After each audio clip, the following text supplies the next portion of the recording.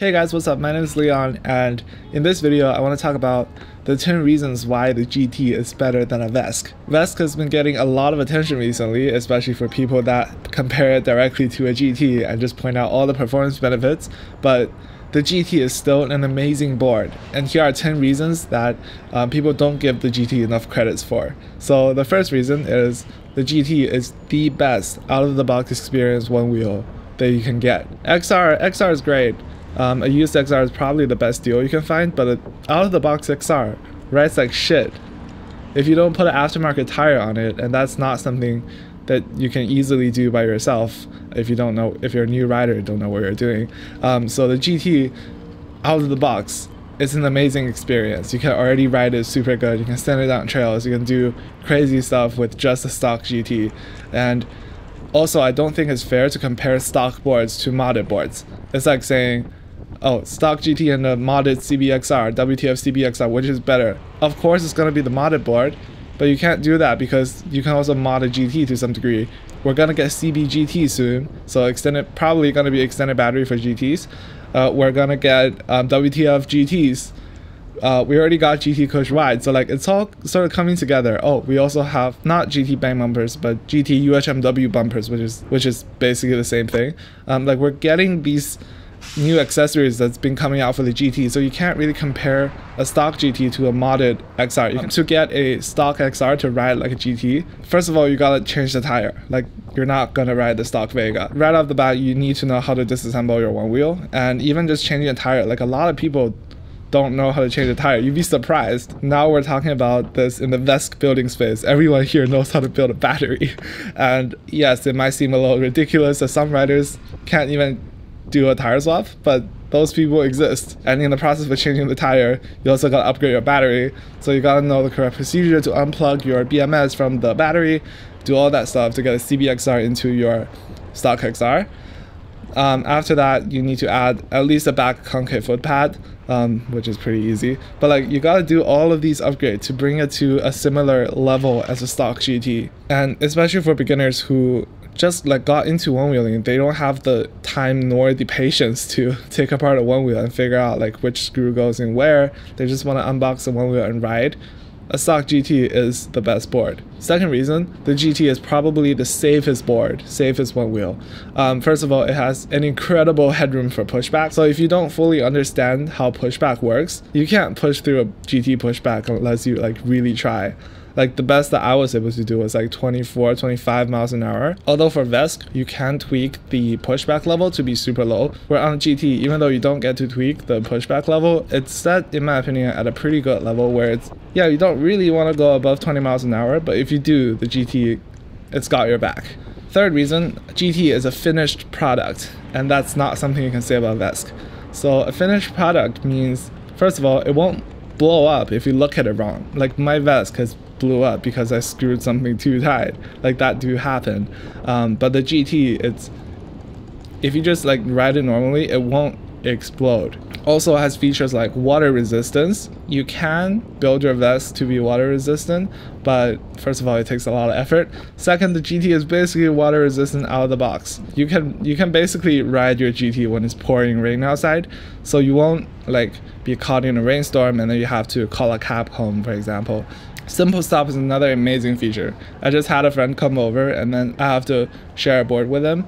Uh, he jumped on my VESC and then not having Simple Stop just like immediately freaked him out. For the rest of the day, he rode my GT because Simple Stop is just so beginner friendly. For new riders, when they're still trying to figure out how to balance on the board, just having a simple way to stop is a very good feature. And there is Simple Stop for VESC, but it's super sketchy. Um, lights Another thing that you can configure on the VESC, but the GT headlights is amazing. It's super bright. Uh, it's also completely built in. It changes directions.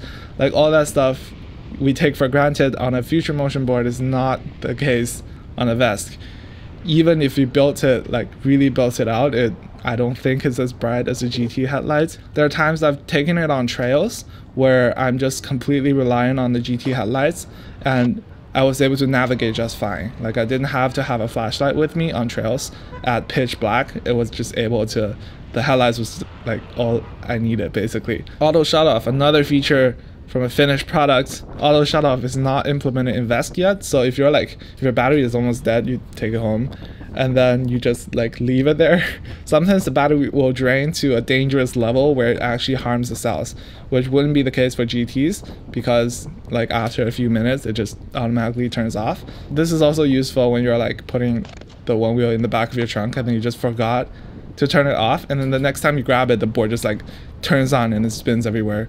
Gets really messy. Um, not the case for the gt fourth reason you can use the gt as your only board which is not something you can say about VESC. So if you only have one board and you're thinking about VESCing don't VESC building is a very involved project. Do not do this if your VESC is your only board and you rely on your one wheel for commuting or for if you just can't live without a one wheel because your your VESC will eventually need fixing and when you like open up the controller to fix something sometimes that's a multi-day project and sometimes your VESC will randomly just stop working and then you have to like fix it um, gt basically don't have to go through that like yes, my GT did die twice um, every thousand mile or so, but generally the GT I find to be a lot more reliable, and people can ride the GT for like thousands of miles before they have to like really refurbish it. If you're sometimes if you want to just shut your brain off and ride, the GT might be the better board. Fifth reason, the one wheel app. You don't get the one wheel app if you're going VESCing, so you completely lose that, including you don't get any of the odometer, the achievements, which if you care, I, I cared a little bit. but since your VESC is not connected to the One Wheel app, you don't get the achievements. You also don't get features like segments, um, ride tracking in the One Wheel app. Um, like these things you're going to be missing. Like basically everything involving the One Wheel app would just be non-existent. Also for the GT, the amazing feature to limit charging to 90% to save battery. Um, since I believe that's a feature that the controller has to talk to the BMS. Like if you wire a charge only BMS, there's no way no way this feature can be implemented. Uh, features like that that really saves your battery life, you gotta go with the GT to get limit charging to 90%. So the sixth reason is that when you're rolling up on a group ride, basically everyone's riding GTs. Since everyone are on stock GTs, if you don't have a hypercharger, which I highly recommend you do if you're going on group rides, um, you can just grab someone else's hypercharger when they're done charging. There was one time where I lost my bag, including my hypercharger, on a group ride, and I was able to just borrow someone else's charger when they're done charging and just like continue to ride. For VESC, especially if you're going uh, 75 volt or 84 volts, plugging in the wrong charger, like if if someone who has an XR uh, saw that you finished charging and then unplugged your charger and then plugged it into their board, their board will blow up like you really gotta keep an eye on your charger and make sure nobody else borrows it or accidentally borrows it on your on group ride, which is not the case with GT. You can just like leave your hypercharger around if people want to charge.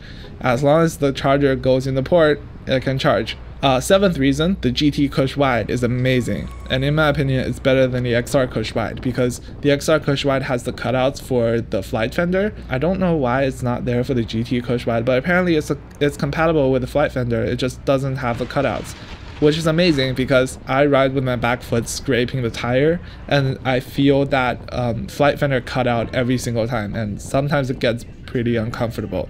So I love the GT Cush Wide a lot more. The eighth reason front concave. This is going to be controversial.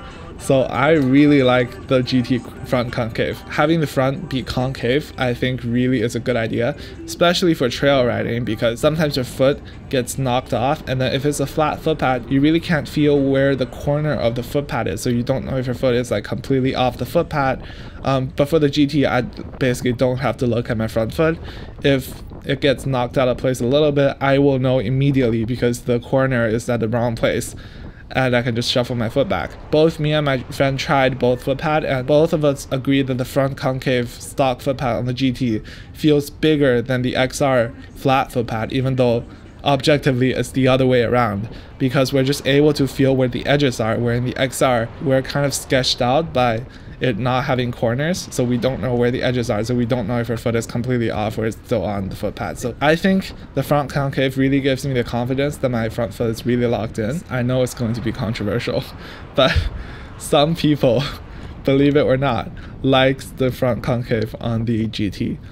The ninth reason, Stoke Life services might not work on VESCs. Before you go like VESC building, make sure to ask your local Stoke Life service guys whether they work on VESC. I asked my local um, local service guy, and then he said he doesn't work on VESC. So when my VESC fails, I have to be able to fix it. If you're not able to fix your VESC when it fails, don't VESC your board because nobody else will fix it for you even if you pay money. You're not obviously not going to ship it back to Future Motion. Slow collect service also might not work on your board. If your controller blew up, for example, if you don't and you don't know how to assemble a controller box, just don't VESC it because when it breaks, which it will eventually, you're just left stuck with a board that nobody can fix.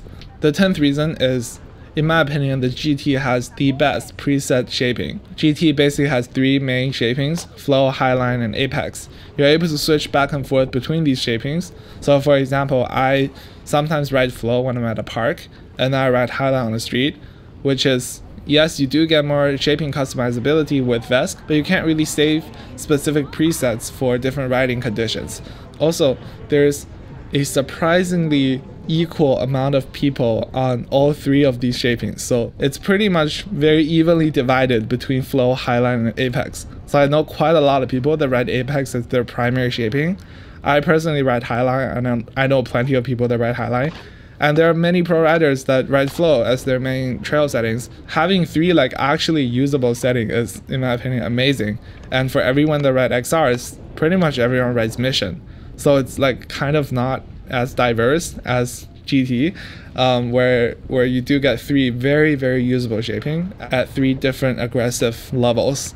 So those are my 10 reasons why I think the GT still has merits. Uh, in the next video, I'm going to talk about the 10 reasons why I like my VESC more than a GT, um, so it's the other way around. Both of these are amazing boards. You're not gonna go wrong with a GT. It's a like it's a very very good board. People has been giving GT a lot of shit, but it's still like when you roll up to a group ride, most people are on a GT and they're on a GT for a reason. Like they picked the GT rather than the other boards. Okay, thank you for watching this video. Um, make sure to subscribe and like, and uh, see you in the next video. Bye.